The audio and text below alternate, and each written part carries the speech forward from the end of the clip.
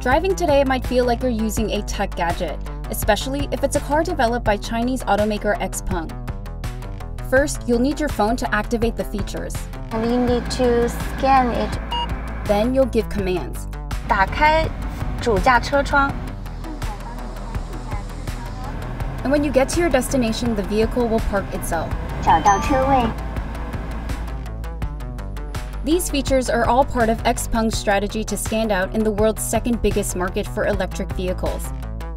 The company is competing in China not only with EV leaders like Tesla, The all-electric F-150 Lightning. but also traditional automakers like Ford and GM, which are doubling down on producing electric vehicles too.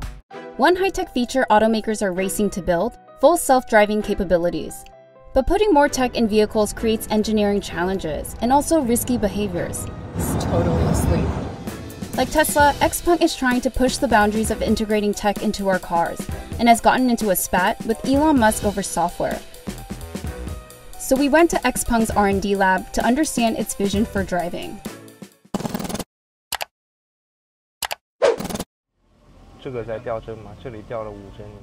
Xpeng has always operated like a tech startup since it was founded in 2014. Brian Gu is a former JP Morgan executive who took over as Xpeng's vice chairman and president in 2018.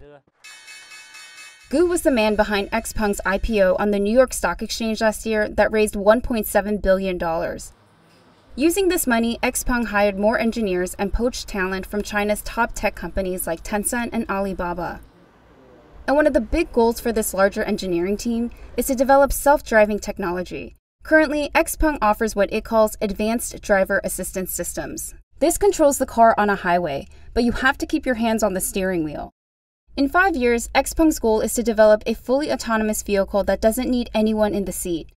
To make this happen, it's invested a lot in software and hardware.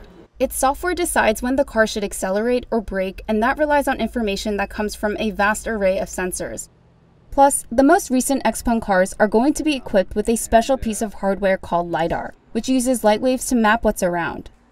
LiDAR is expensive, typically costing about $1,000 a piece, and Xpeng's latest car will take two. The company will be the first automaker to mass produce LiDAR equipped vehicles this year, and its entry point will be lower than $35,000. But Xpeng's tech strategy has some big detractors. LiDAR is, is a fool's errand. Expensive sensors that are, unnecessary.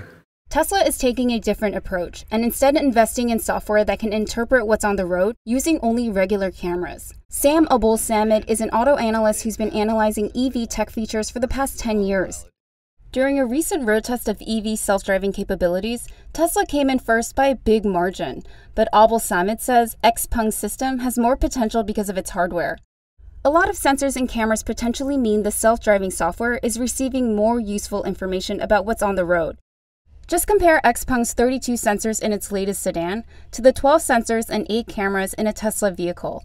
Tesla didn't respond to a request for comment, but Musk has tweeted several times that its camera based system is more precise than sensors like LiDAR.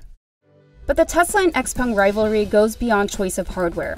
It all came to a head when Tesla filed a lawsuit in 2019 against one of its former employees in the US who had quit to join Xpeng. The lawsuit alleged that he took copies of the source code of Tesla's current driver assistance system in order to hand it over to his new employer. In court documents, Tesla alleged the Chinese company was inspired by and on a mission to beat Tesla, and has transparently imitated Tesla's design, technology, and even its business model. In April, Tesla settled the lawsuit with the former employee, who acknowledged he shouldn't have saved the source code, but said he didn't provide it to Xpeng. Xpeng said the engineer no longer works for the company, and that its in-house developed R&D has been its competitive advantage. But if there's one challenge that the two rivals are facing together, it's the uphill battle with the public perception of their prized tech. Edward Niedermeyer is an industry observer who pushes for self driving technology as a way to make roads safer. Okay, Tesla, let's get this trip started.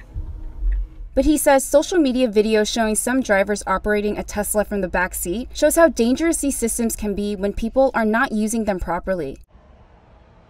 Tesla has repeatedly said the features it offers make driving safer. Meanwhile, Xpeng is working on a driver's test, acknowledging that its self driving system has limitations.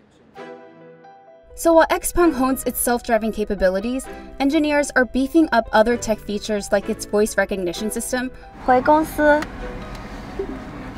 好。 or making its battery management software super efficient. Xpeng has already started selling cars in Norway and says these tweaks will help it crack the larger Europe market. And someday, the company plans to have its cars on US roads, right alongside Tesla vehicles.